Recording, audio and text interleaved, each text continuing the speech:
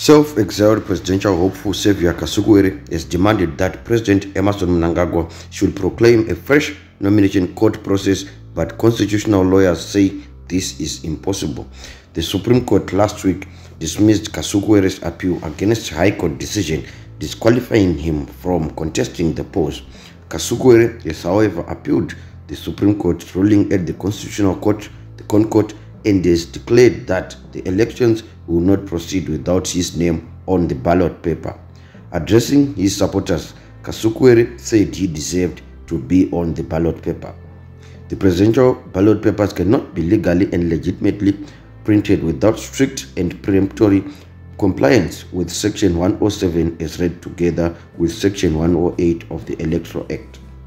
The aforementioned provisions, in particular Section 107, contemplates the withdrawal of presidential candidates willingly. It also contemplates removal of a candidate by death.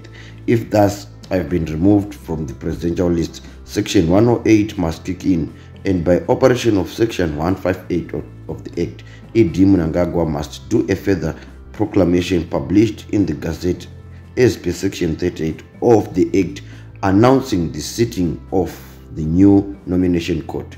This election will never be held without us. However, constitutional law expert Mr. James Savora said Kasukuwere's demands may not see the light of the day. There is no law for what he is asking. Both the Constitution and the Electoral Act do not provide for his wishes.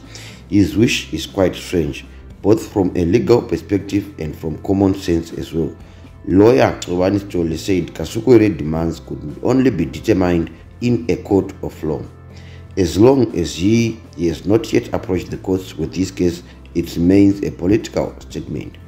Yesterday, the ConCourt heard Kasukuwere's application in which he is seeking leave for direct access to the court.